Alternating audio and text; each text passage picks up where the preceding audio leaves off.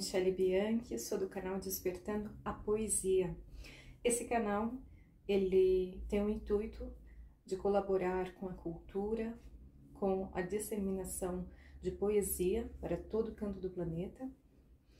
Eu tenho essa pretensão, mas é uma pretensão boa. É, aqui nós trazemos poesias de autores consagrados, de novos poetas, é, para facilitar que essas pessoas sejam divulgadas, inclusive os novos poetas, porque a gente sabe que no Brasil é pouco procurada a poesia, inclusive não só no Brasil, mas acredito que no mundo inteiro. Então, esse canal ele foca na disseminação não só de poesia, mas traz todos os tipos de artes, como dança, música, Desenho também, porque como vocês sabem, eu faço a ilustração dos meus livros. Quem me acompanha nas redes sociais, eu sempre coloco uma ilustração feita por mim dos meus livros.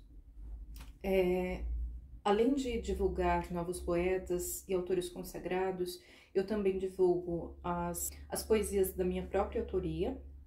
É, tem um quadro novo de mitologia e suas vertentes, no no qual eu procuro sempre trazer um mito para que também seja divulgado a mitologia, a filosofia e todas essas é, áreas do conhecimento que são tão importantes para o campo do saber.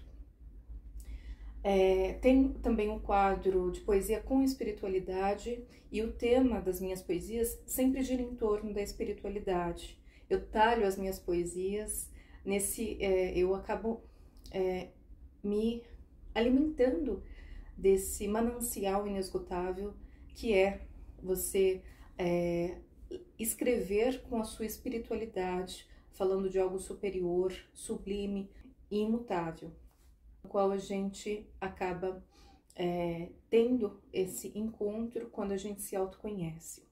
É, eu fiz a primeira live do canal no dia 8 de julho deste ano, foi com o tema de espiritualidade, e a, as lives acontecem de 15 em 15 dias no canal Despertando Poesia. E é sempre com esse tema sobre espiritualidade, mente, dança, arte. E eu acredito que vocês vão gostar muito. Então seja bem-vindo, bem-vinda ao canal Despertando a Poesia. Apreciem as, as, várias formas de artes que a gente deixa aqui no canal.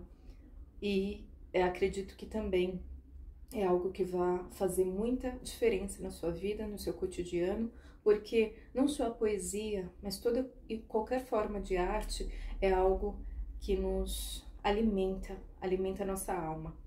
Então fique aqui com a gente e aproveite esse manancial inesgotável da arte. Muito obrigada.